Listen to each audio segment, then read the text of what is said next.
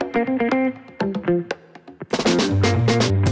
Je m'appelle Florian Perry, je travaille à Suisse Olympique dans l'équipe de soutien aux fédérations pour le sport de performance et dans le cadre des Jeux Olympiques de Tokyo, je suis en quelque sorte le bras droit de Ralph Stöckli, le chef de mission pour les questions relatives au sport, notamment les sélections. Les Jeux Olympiques représentent pour les athlètes souvent l'apothéose de leur carrière, donc c'est une grosse responsabilité, mais aussi une fierté pour moi de faire partie de cette aventure. Le processus de sélection peut se découper en trois phases. Dans la première phase, nous recevons des fédérations internationales deux à trois ans avant les Jeux les règles du jeu.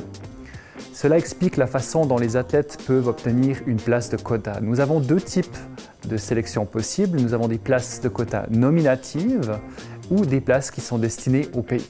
Prenons l'exemple de la gymnastique artistique. Julia Steingruber a obtenu une place de quota nominative qui lui revient à elle seule, contrairement aux hommes qui ont obtenu une place avec l'équipe. Dans un deuxième temps, nous définissons ensemble avec les fédérations, grâce à ces critères et nos lignes directrices, les critères de sélection pour les athlètes suisses.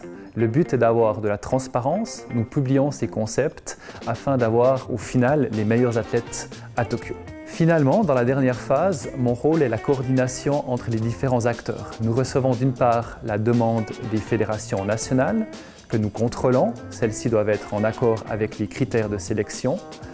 Puis, je prépare cette demande pour la commission de sélection de Suisse Olympique qui a la décision finale. La dernière étape est celle de la communication. D'une part, la coordination interne avec mes collègues de la communication mais aussi l'information qui est donnée en amont aux athlètes qui seront sélectionnés, mais aussi ceux qui ne seront pas sélectionnés. Finalement, en fin de journée, ma satisfaction personnelle est de pouvoir voir les noms de ces athlètes dans les différents médias suisses. Un des challenges qui nous a préoccupés est naturellement le report des Jeux avec le Covid.